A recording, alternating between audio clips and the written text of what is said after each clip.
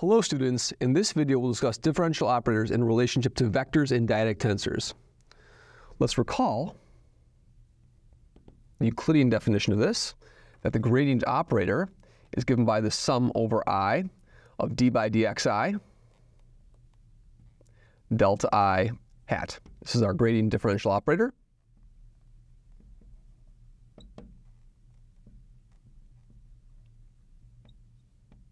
Later, when we start discussing covariant and contravariant bases in different coordinate systems, we're going to see that this operation over here needs to have a one covariant component and one contravariant component because this thing has two covariant components and doesn't transform in the right way. So later on, we're going to see that it's going to be this differential operator times the contravariance um, basis element over here. But for the time being, this is going to be more than sufficient in order to do differential calculations on just in Cartesian coordinates.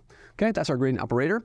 And so now what we can do is now we can use the ideas behind dyadic tensors to figure out what the gradient of a vector field would be, right? So if V is a vector field,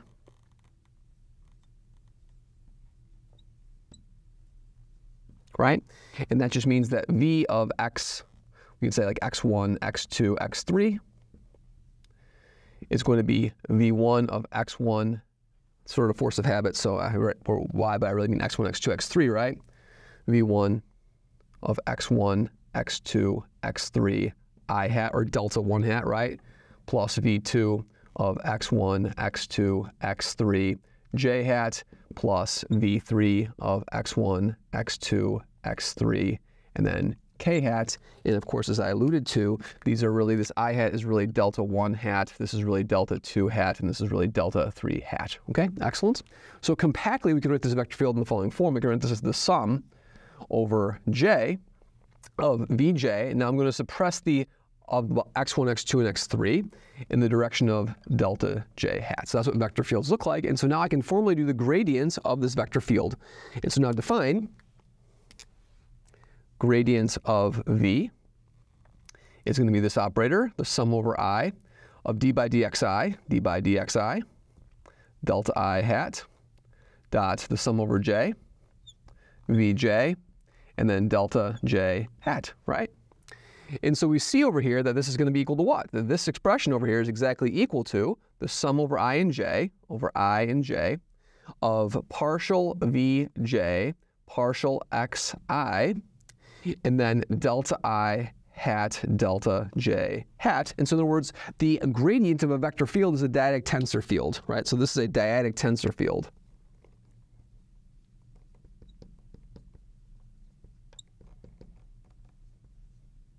Okay, excellent.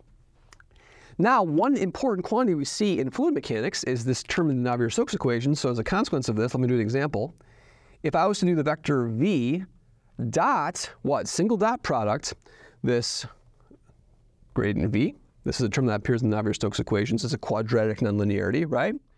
Is going to be what? Is going to be the sum over i of vi delta i hat I'm going to single dot this with the sum over j and k, the sum over j and k of v partial vj. Uh, so I want the j to be second, right? So the i is first, so I want the partial vk, and then partial xj. Then I want my i, my j first, that's a delta j hat, and then a delta k hat like so, keeping the order and consistent. And so now this becomes a delta ij, so this is going to be just the sum over i and k, because I'm going to replace all my i's with j's, of vi, vi, and then partial vk, partial vk, partial xj, but j gets replaced with i, so it's a partial xi, partial xi, like that. It's in the direction of vk in the direction of vk over here. So this is the term that you're going to see these expressions over here as you're summing over i and k are the terms that appear when you're looking at the Navier-Stokes equations, right? So this expression over here is a very important quantity to understand, okay? Now I can do the same sort of thing using these vector operations to talk about what it would mean to do the gradient dot a what? The gradient dot um, a dyadic tensor, for example, right? So let's do that. So if I did gradient single dot, right, that's going to be a vector field, single dot tau bar bar, this would be what? This would be the sum over i of d by dxi delta i hat. That's my gradient operator, right? And to single dot this with the sum over j and k, the sum over j and k of tau jk delta j hat delta k hat. There's my unit dyadic tensors. And then I'm going to do these dots over here. So this is going to turn into a what? I'm going to have a delta ij. So I'm going to sum over i and k, the sum over i and k of partial tau jk. So that's going to be an ik partial xi. And then that's going to be in the direction of delta k. So delta k over there. So in order to do the dot product, the gradient dot a dyadic tensor, you're going to get a vector itself over here. And, and, we have exactly sort of the same structure over here, just in the opposite order, right? So that's another example.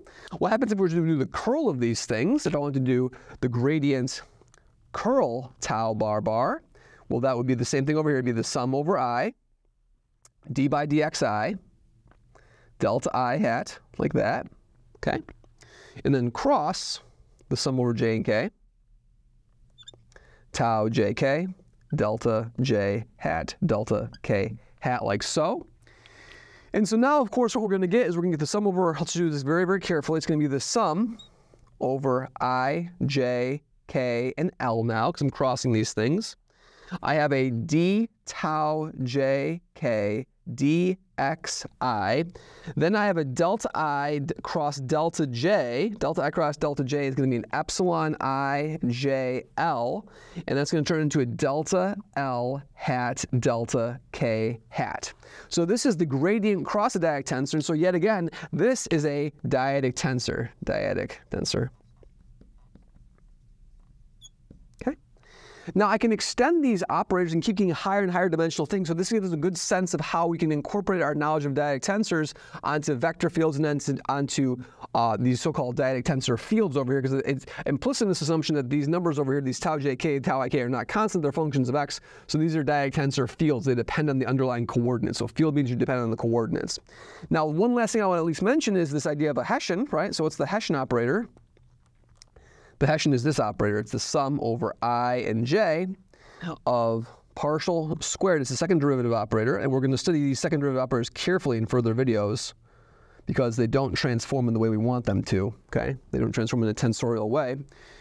But how does this Hessian operator work in particular if you input like a vector field to it then? If you wanted to input a vector field, if you wanted to input a sort of a scalar function, if I do like the Hessian of W, for example, what would the Hessian of, of a simple scalar field be?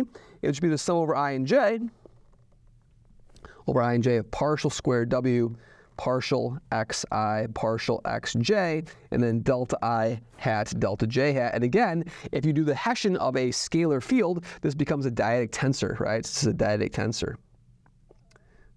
So the whole point of this discussion over here is to illustrate that if we're doing things like Hessian operators or gradient operators or sort of convective derivative terms over here, we have or, also gradient vector gradient fields of gradients of vector fields, we can't confine ourselves exclusively to just vector fields. We have to allow ourselves to include this idea of dyadic tensor fields. And with the idea of dyadic tensor fields, we're able to basically say, well, now I have an idea of what this thing, what this object is analytically, and then I can study the analytic and different properties of these operators using the tools from dyadic tensor theory, using the tools from vector analysis, so we can sort of combine these things and not think of these things as some sort of really just abstract thing. They're just the natural expressions to keep track of all the indices in your problems when you're dealing with vector fields and differentials of vector fields. So very, very useful identities to think of these things, to think of differential operators of vector fields or of scalar fields as either vector fields or, or dyadic tensor fields, or even if you do higher order operators, you might get into sort of tetradic tensors or triadic tensors. So keeping in mind that we want to be able to understand what dimension these things are